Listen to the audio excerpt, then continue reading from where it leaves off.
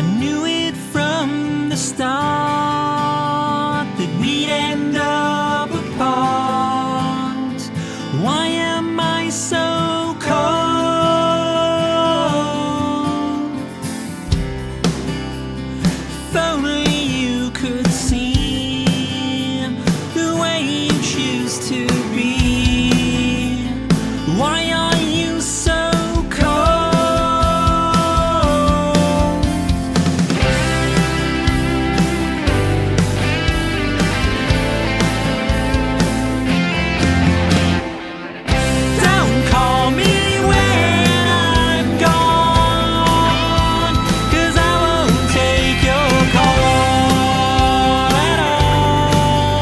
last time.